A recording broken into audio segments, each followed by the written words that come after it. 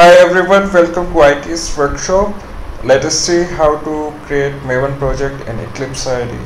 So the first requirement for this that you should have Eclipse IDE and that too Java Enterprise Edition. So you can select and you can download the Eclipse IDE which is for Enterprise Edition. So you must be seeing this perspective tag over here, Java EE perspective and then you can come to file new.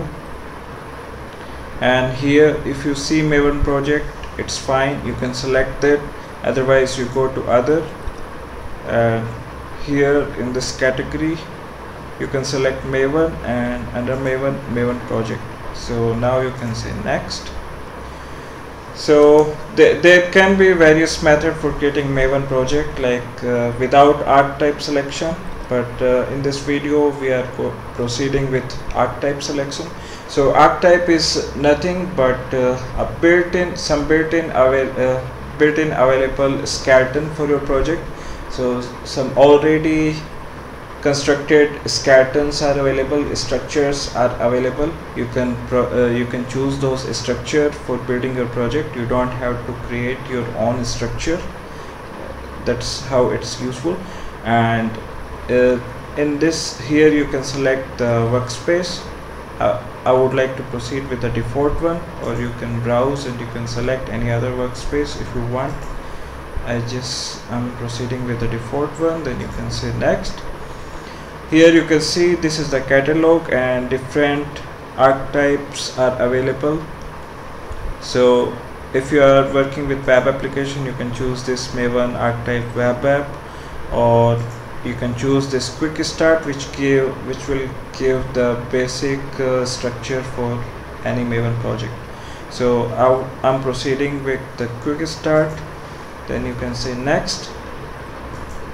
Here uh, in group id and artifact id so in uh, under one group there can be several projects and uh, group id you can select according to the your project name or organization name like uh, my organization is myorganization.com or myorganization.org so that org or that com that we generally find at the end of your website name like mywebsite.com so you can select that.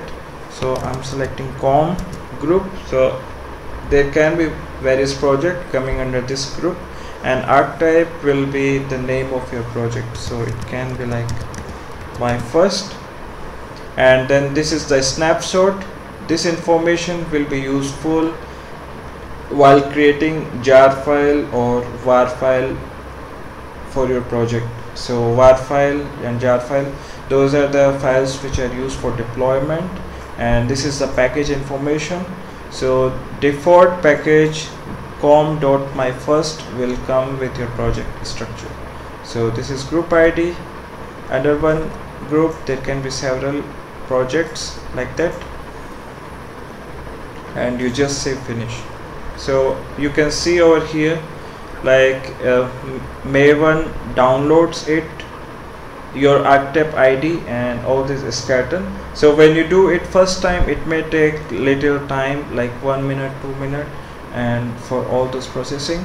And if you are doing it second time or next time then then uh, then it takes all all the required dependency uh, from the local maven repository. So it won't take much time for downloading.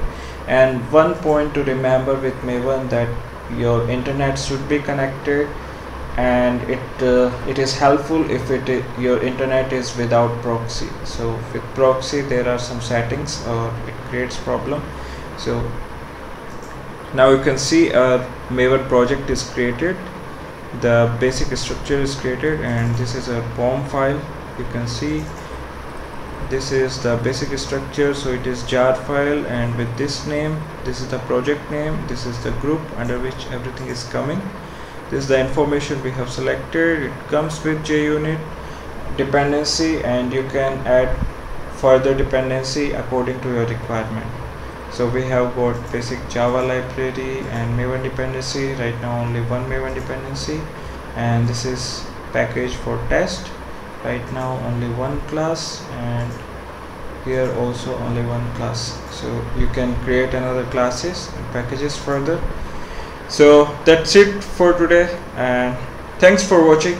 If you like this video please click on like button share and subscribe for more videos like this. Thank you